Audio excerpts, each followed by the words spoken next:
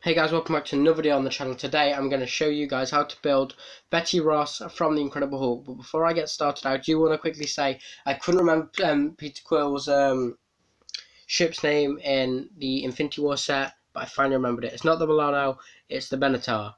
But yeah, let's get started. First of all, I used Lady Scientist legs um, from the collectible mini minifigures.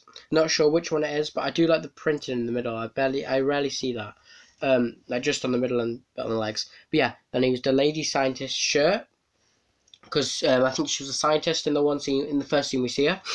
Then I used some plain white arms uh, because you know they fit and you get the hair and all this together. Uh, apart from the hands and the face, the hands just normal like always, and then the head is Hope's face from the Ant Man and the Wasp set. Um, because you know, I don't know what else. Only that one up and Black Widow, so the face I've got for the women that are that colour. So yeah guys, thank you for watching this video. If you liked it, give it a thumbs up, subscribe to the channel, and um, comment some movies down below that I can make some, or TV shows maybe, that I can make some um, possible minifigures for so I can show you guys.